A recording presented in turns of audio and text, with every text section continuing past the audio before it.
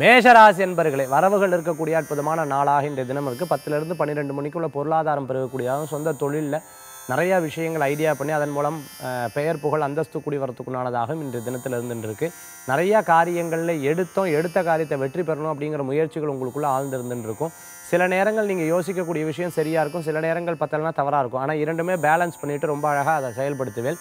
எல்லா காரியங்களும் நிம்மதியாக அமையக்கூடியதாக இருக்கும். சட்டுன்னு பேசக்கூடிய வார்த்தைகளில் கவனம் என்பது தேவை. பிறர் சொல்லக்கூடிய வார்த்தையை அப்படியே எடுத்து முடிவாக செயல்படுத்த வேண்டாம். அதை ஒன்றுக்கு நாலு முறை தீர்வை யோசித்து செயல்படுறது நல்ல பலன்களை கொடுக்கக்கூடியதாக இருக்கும்.